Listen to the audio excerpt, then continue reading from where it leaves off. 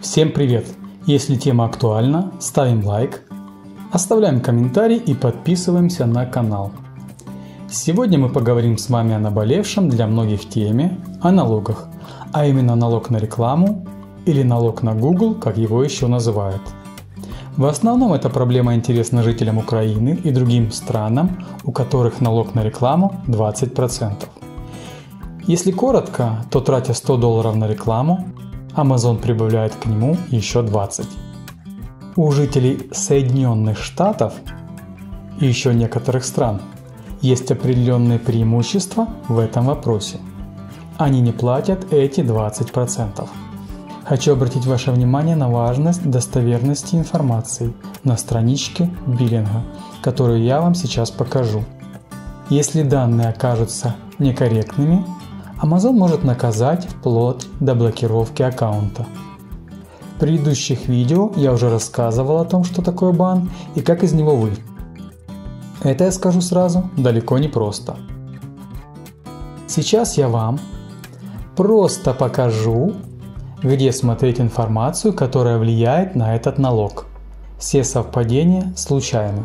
Также хотелось бы отметить, что вся информация в этом видео публикуется как есть, и автор, то есть я, не несет никакой ответственности, если вы ее неправильно поняли, и не поняли правильно, но ваши действия привели не к тем результатам, которые вы ожидали. Я полностью снимаю с себя любую ответственность, это видео предназначено только в ознакомительных целях. Итак, чтобы попасть в биллинг, нам нужно зайти в свой рекламный кабинет – Далее мы кликаем на шестеренку, опускаемся чуть-чуть ниже, выбираем вкладку Account Access and Settings и переходим на следующую вкладку. Следующая вкладка выглядит приблизительно вот так вот. Вот сюда нажать Manage Payment Settings. Мы попадаем уже на следующую страничку, которая нам показывает наш текущий адрес. Нажимая на Change Billing Profile, мы переходим на страничку, собственно, самого профиля, где мы можем видеть нашу, опять же, текущую информацию и нажать на кнопочку Edit, мы переходим на страничку, которая, соответственно, помогает нам посмотреть, из какой страны мы оплачиваем наши услуги за рекламу и, соответственно, немножко подредактировать наши данные, если вдруг по каким-то причинам они изменились. Здесь ничего сложного нету, Данные указываем правильные, корректные и нажимаем на кнопочку Save.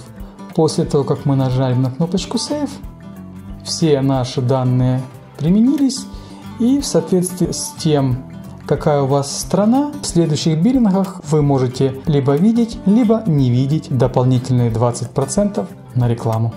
Собственно, это все, что я хотел вам показать по этому вопросу. Надеюсь, информация была полезна, поэтому еще раз напоминаю для тех, кто не подписался, не оставил комментарий и лайк под этим видео. Также советую вступить в группу любителей читать книги с Amazon KDP, а также предлагать свои для прочтения с обратной связью. Ссылку оставляю в подписи.